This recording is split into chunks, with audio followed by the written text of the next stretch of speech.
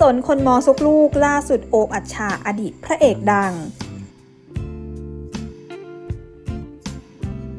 เป็นอดีตพระเอกช่อง 3 ที่อยู่ในยุคโด่งดังจริงๆค่ะสำหรับหนุ่มโอมอัชชานามปานค่ะสำหรับเขาเริ่มเข้าวงการบันเทิงโดยการประกวดรายการ M Thailand 2005 เพื่อค้นหาสุดยอดนายแบบก่อนหน้านี้หนุ่มโอม post Instagram เปิดตัวแฟนสาวนอกวงการเป็นชาวเกาหลีถ้าหลายคนถึงกับงงแล้วก็ฮือฮาหนักมากค่ะ วันนี้ทางทีมงานจะพามาส่องภาพปัจจุบันของหนุ่มโอม บอกได้เลยว่าการเวลาทำอะไรไม่ได้จริง ๆค่ะ โดยเขาได้เผยเหตุที่ต้องเปลี่ยนชื่อจากโลมพัชตะนะคะ กลายมาเป็นโอมัชชา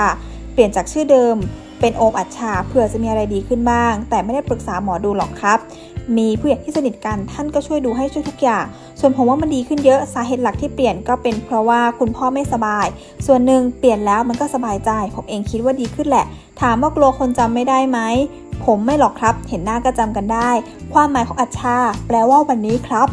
ทำวันนี้ให้ดีที่สุดนั่นเอง ช่วงที่พักงานไปดูแลตัวเองอย่างไร ก็อยู่บ้านอยู่กับคุณพ่อมากกว่า โดยกลไกธรรมชาติเราต้องดูแล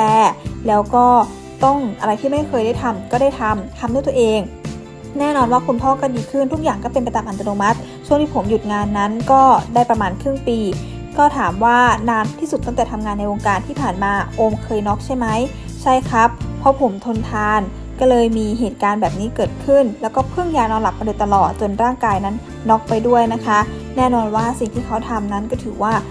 เป็นการสะสมทำให้ร่างกายนั้นดื้อยาด้วยค่ะ ที่สำคัญนะคะ พอนอนไม่หลับกินนานไป มันก็ทำให้เขาเป็นเรื่องที่เรียกได้ว่าผ่านเป็นประสบการณ์ ถ้าไม่ได้เจอและผ่านจุดนั้น ก็ยังคงใช้ชีวิตทะเลทลายอยู่ค่ะยังไงก็เป็นกำลังใจให้กับหนุ่มโอมด้วยนะคะ